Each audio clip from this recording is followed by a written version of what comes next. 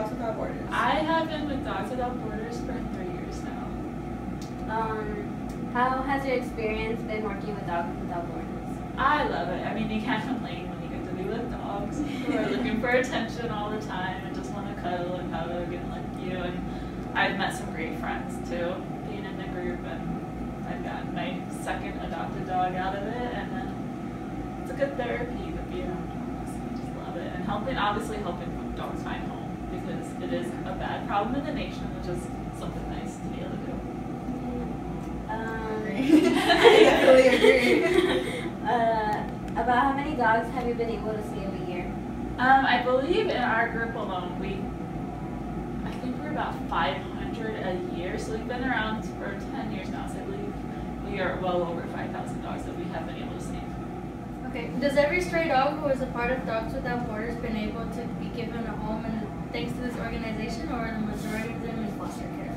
Um, most of our dogs have been adopted. We do have a couple of dogs that have been harder to find homes that where we're not trying to, we don't want to put them in a home just because they do have some issues to where we don't think they're, we haven't been able to find a right home to be able to adopt them into or even get fosters for. But most of our dogs pretty much are adopted eventually with either in a short amount of time or a long amount of time. We do not give up on dogs. How do you think Dogs Without Borders is more effective than other organizations? There's a lot to that. I mean, I think we have definitely realized the best way to get make sure adoption is good is by having mentors and people that consistently keep in touch with our fosters and with our potential adopters, just to make sure along the way that if any issue comes up, they know that someone is there to help them out and to come up with ideas and tri- tricks and tips on how to make an issue positive and then change it and help it to make sure that it's a good adoption.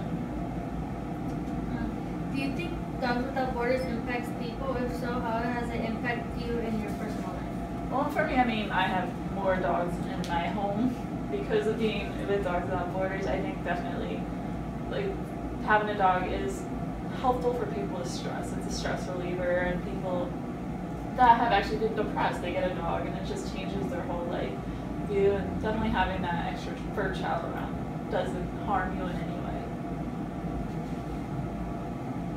Any last words of advice you'd like to give to the high school students or any or anyone in general? Um, if you're thinking about adopting, definitely adopt. Don't shop, don't support the puppy mills, but make sure you're choosing a dog that is right for you, not just because you like the way it looks.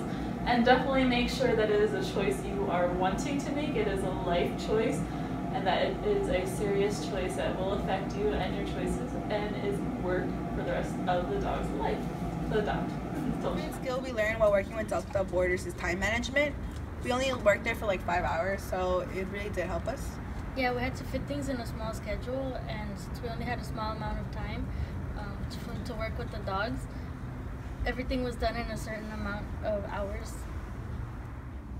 Another important skill I learned while working with Dogs Without Borders is um, following instructions. Sometimes things were meant to be done a certain way, and the volunteers wanted us to do it that way, so we made sure to what I did to follow them exactly how they were supposed, how they said to do it. So yeah. Um, another skill I learned from working with Dogs Without Borders is multitasking. We had to also take care of the dogs and also attend to other volunteers what they tell us. One effective skill I learned while working with Dogs Without Borders is problem solving. Uh, sometimes we were left alone without other volunteers watching over us. So and problems did arose, so we had to like think quick on our feet and be able to problems to solve them as soon as possible.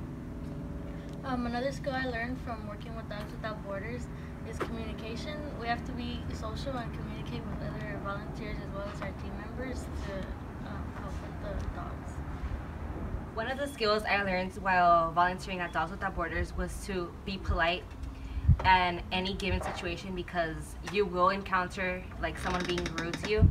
So that's something that I learned while working at Dogs Without Borders.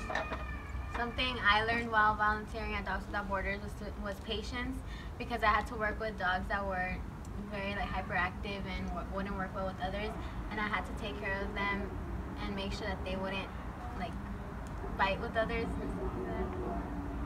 The second skill I learned while volunteering at Dogs Without Borders was memorization because I, we we were given like a paper with all the information of the dogs, and then I memorized like the name, like how old the dog was, and everything, so I could give like accurate information to the people that were trying to adopt or foster the dog.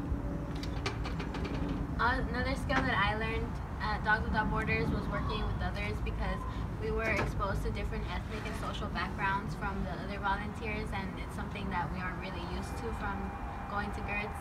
And I had to adapt to it, and it wasn't something that I was really like exposed to before, or something I was used to. My experience at Dogs Without Borders was new to me because I've never volunteered at an organization, and I think it was pretty good, like for the first time. I agree. Uh, this was definitely my first time volunteering at any organization, and I'm glad it was Dogs Without Borders because overall they were nice to us, and it was a really good experience. My experience at Dogs Without Borders was actually something I didn't imagine it to be as. Um, people were surprisingly different than I expected. Like, I encountered a, a rude lady, but it was okay. And I got to help out with dogs, which is something that I'm not used to since, you know, I'm, I don't have many dogs in my house.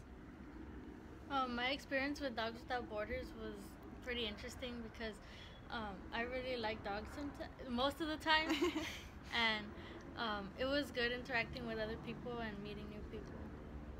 And I feel like the dogs are really, really nice. Oh, they can't be nice, but you know, They were gentle. yeah, they were.